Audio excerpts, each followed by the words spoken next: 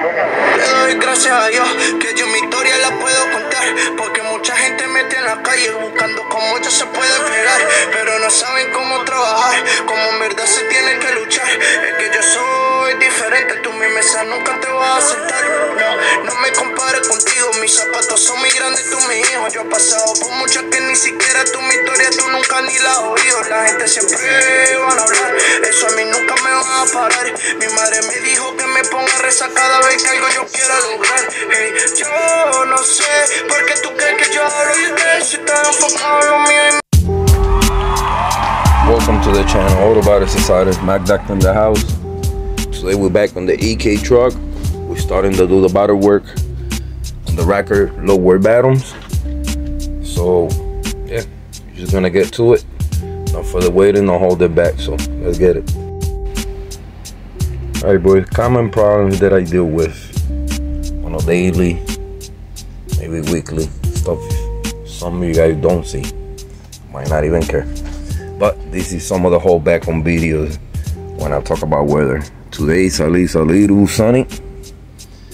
But yeah, if I don't do this, that's how much water I will have in the back of the truck, if you want to call it truck, whatever. Thing is not needed. Some to it's not time that it needs to get wet. I don't want to have water constantly there, so I'd rather have a plastic, sort of a little mini pond over here going on. But it's things I gotta deal with, so I'm gonna dry this in a little bit. Same with the garage. Is the reason I want to get another apartment. Cause even if I could do this out of wood, I do not like this house at all. It's uncomfortable, that's all I'm gonna say. But look at how much water over here. And over here. And over here. It's like stuff that I deal with. You know what I'm saying? So I gotta like constantly watch this stuff They don't fall in the car. This is the reason to have the hatch half of the time cover. All that water is not on the car. But you know, at least over here is not to this video. We're gonna get to the EK truck. I'm gonna drain it out. And um we'll go on from whatever we gotta do next. So let's get it. Alright, we took out the tarp with tiny bit of water here so I took the time off camera and I dried it being that I'm gonna be cutting and working in the inside of that I didn't want any water at all.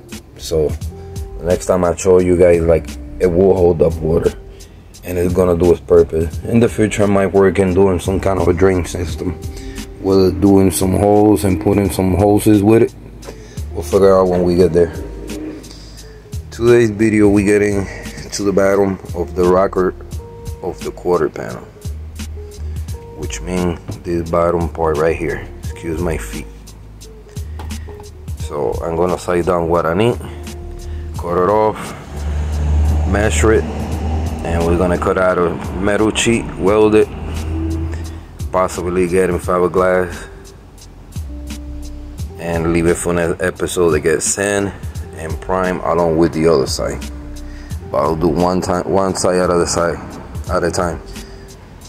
So we'll do the side first finish it and then next episode we'll do the other side because both sides is rusted different so it's not to be the same.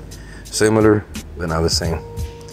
First step we're to remove the side skirt in the bottom so we could see what we're looking at and from there we take it. All right so i'm literally laying on the floor on the tarp to show you guys this footage. It's important. Most people not gonna show you guys this i am so this is the bottom of your rocker panel with your side skirt OEM mount okay this is how much work we have to do pretty bad I'm not gonna be capping and say well it's easy it's nothing. So I'll show you guys so you guys see why I have to do episode after episode side by side one at a time because there's no way I could cover this in 20 some minute video. So as usual we're gonna try to save as much metal we can out of here so I might go half inch this way after I clean it and probably an inch tall but I'm trying to shape it as well at the end I'll show you guys how I shape it with a metal bender. We'll clean this up a little bit. And obviously all this is gonna get right and constructed. What we do, we do it once we cut it, we're gonna trace it with a cardboard so we got the sack shape, how we gonna bend it, how we gonna cut it, how we gonna weld it, and then we proceed with the rest. So, second step for me is to remove that flare, which I know I have to remove. We're not doing any work on the upper quarter yet. We're just doing the bottom of the quarter panel, which is the rocker slash quarter panel, rocker panel. That's what I want to show you guys. Pretty much a DIY video. For many of you guys that have the same situation of rust at home. So right now it's not even about the EK being a truck, cut up, whatever. It's a normal fix on a Civic car. It's a normal repair. So for you guys that have this kind of problem, keep this in mind also to do after I do both sides this is the major thing of the car I want to show you the floor most people are gonna be capping not show shit but I like to show I wouldn't be Autobody Society if I don't show. Alright check out the scenery boys.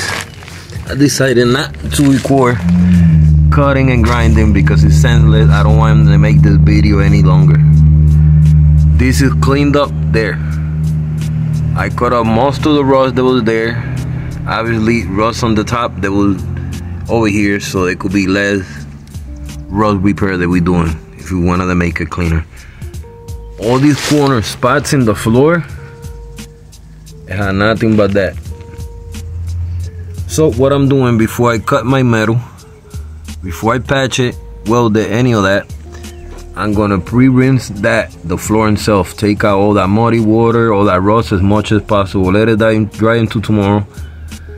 Tomorrow prime it and then we could go on from doing everything else. No sense on fixing this if i'm gonna leave all that junk in there. So i just wanna remind you guys of doing stuff like that you know what i'm saying? Go to the stand of emptying it out clean it up soaping it up pressure washing whatever you have to do you know prime it in order to make the rust not to come back. Obviously that's so bad we can't do much there.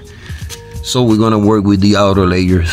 There's nothing much we could do on the inside. This is just double panels that are there from factory.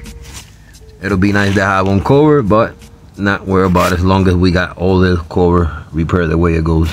So i'm gonna get to rinse this out let it dry come back prime it and then we go from there. Let's get it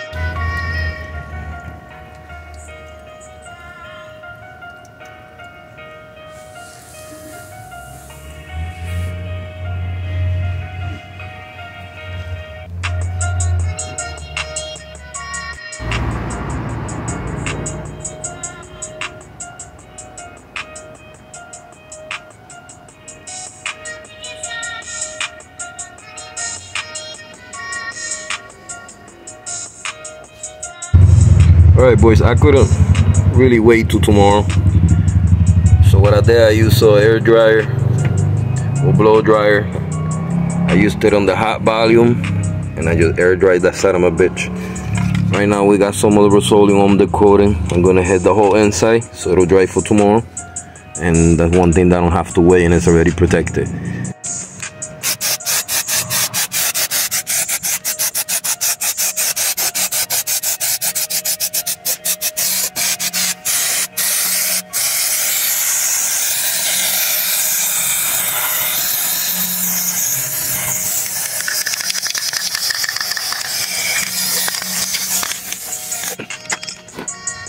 wipe that off. Might hit it tomorrow with the grinder to make better contact. Overall all the inside. Got Rust-Oleum protection. Cut off all the all rust cleaned up all that dust. Particles that was everywhere so that should be good. Now we could continue to uh, move on to take measurements on the patch and get it done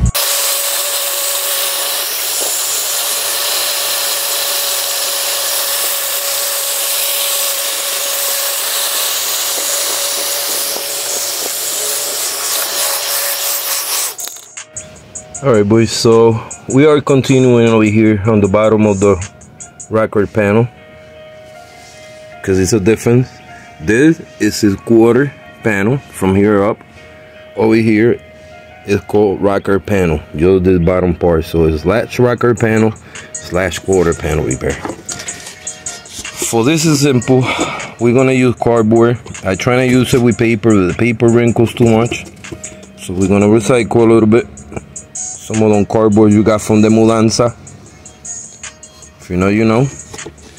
And what I did, I bend it this shape a little bit. It's about almost an inch. So if you guys see, it fits perfect there. Right.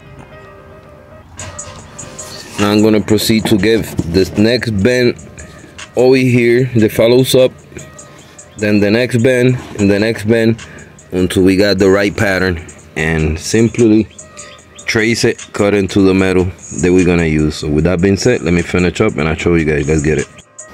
One more thing that I did for tomorrow. It's getting a little dark, so I'm stopping right here. I know I keep saying that. Cut my piece of metal sheet that we're gonna use I sanded both sides to take out the rust. One side I had it with the rust on the on the coating because by the time that we put it against the quarter panel, we're not gonna have a chance to get in there. So might as well just get in there, and then we worry about grinding whatever we have to do when we gotta weld it. But overall, that's the way to go. That's done, and that's done for tomorrow. Tomorrow, so all matter just start bending, shaping and start welding. So let's get it. Alright boys, so it's the day after. This is sort of the shape that I need right here. This goes against the rocker panel. It comes out. This part just start turning and it goes flush to the uh, quarter panel. So I got my metal bender. We got the metal ready right from yesterday.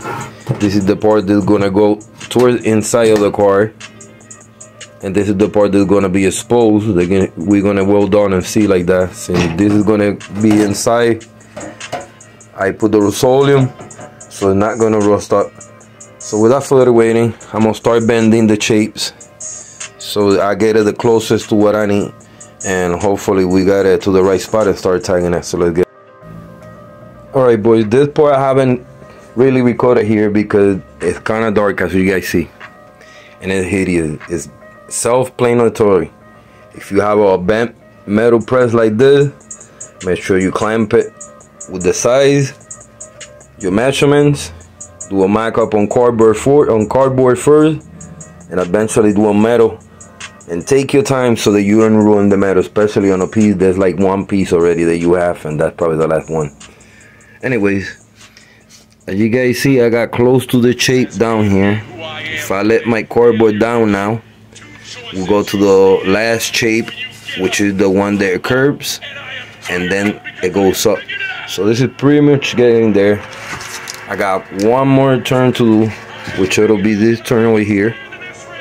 And then we could proceed on trying it on the car. Alright boys, so I'm on the floor right here, so a little uncomfortable, but I'm giving you the full view so far this is not even tackle it's not even finished I'm just showing you guys my bends and my shape so far so good with everything. From this hard line here second line sorry I can point out. I have to bend it to make it rounder. Other than that we got same shape. Show you guys I left the piece over here if you guys see. To be my guy so everything is pretty much same shape you see. So I shaped it close as I could to OEM now from the hard line I have to make it rounder to hug the body. Uh, get it on place and we can start tagging it and that should be done. Let's get it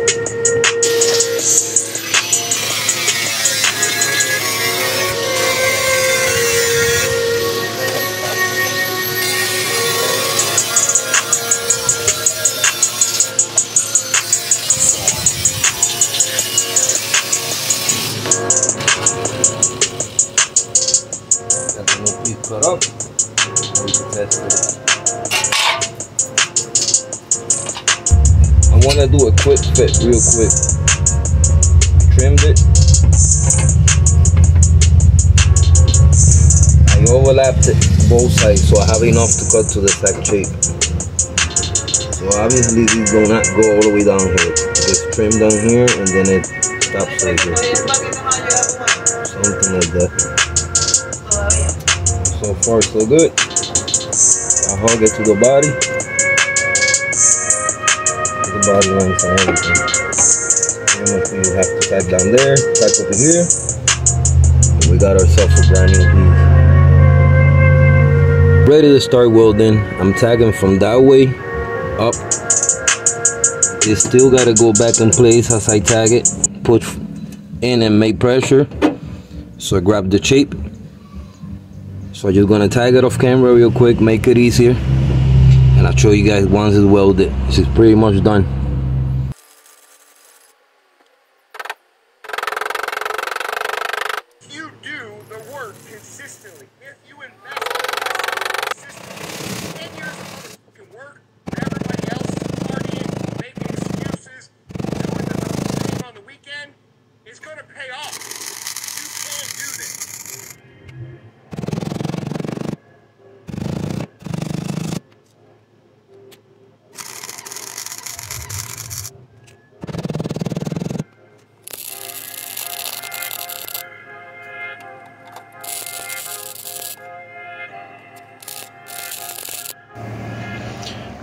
Check me out, boys.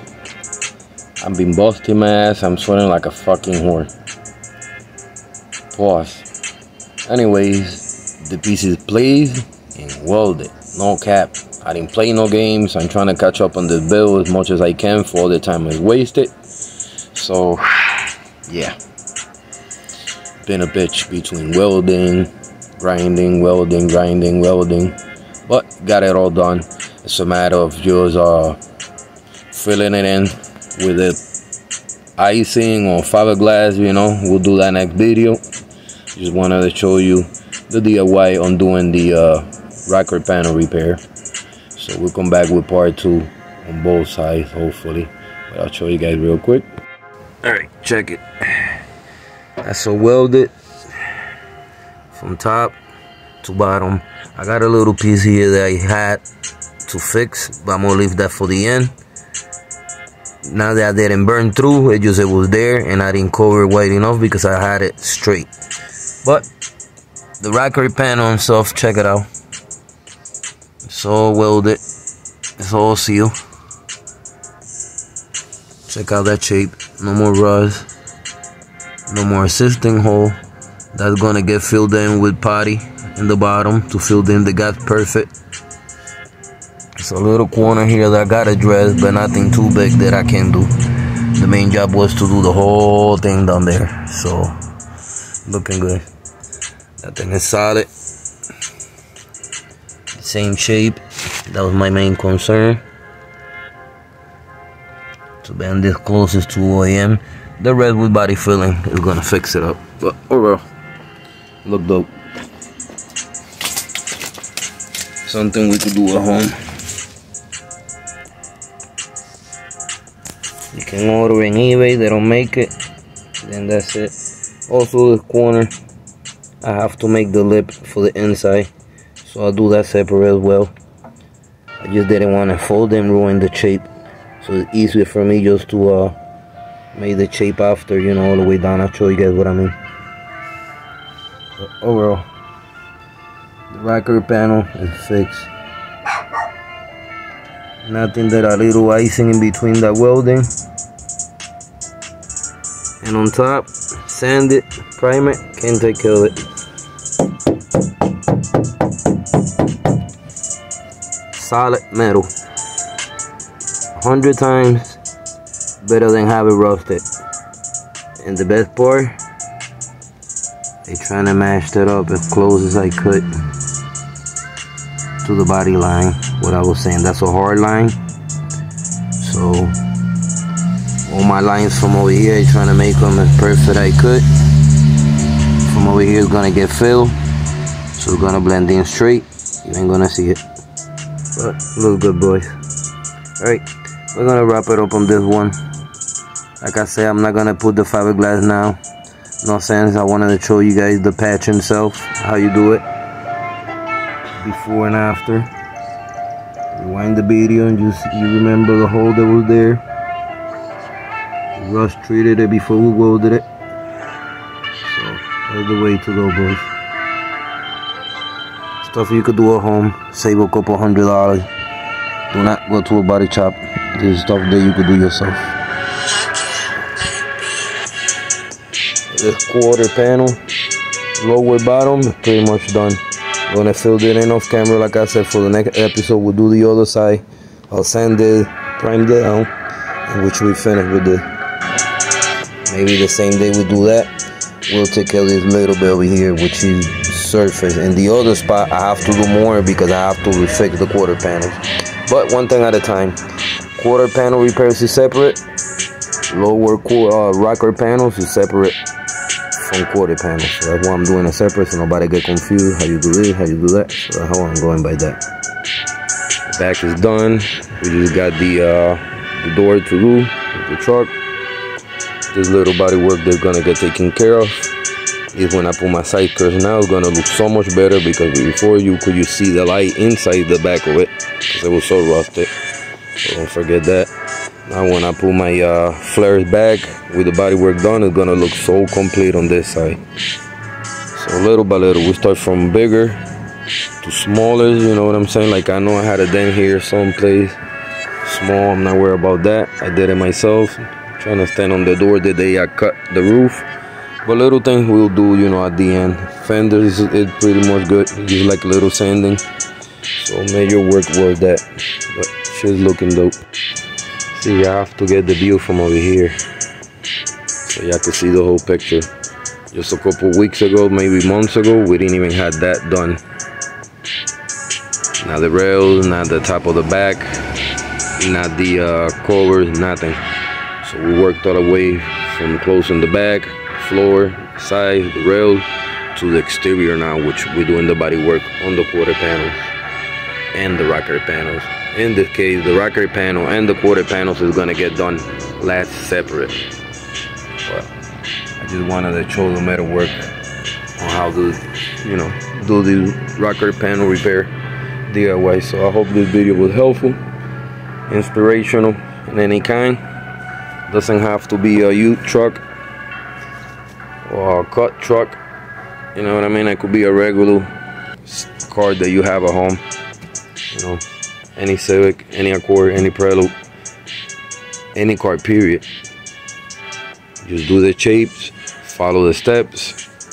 Don't be afraid of welding. All that shit is gonna get filled in with glass, Bondo glass that is. So if you could get good at welding, why not?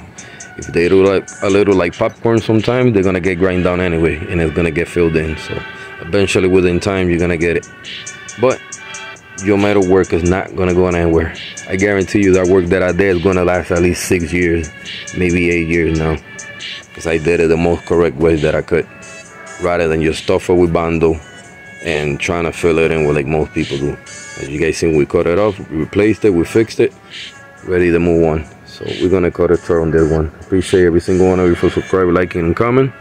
Staying tuned on the channel for supporting. Till next time, peace.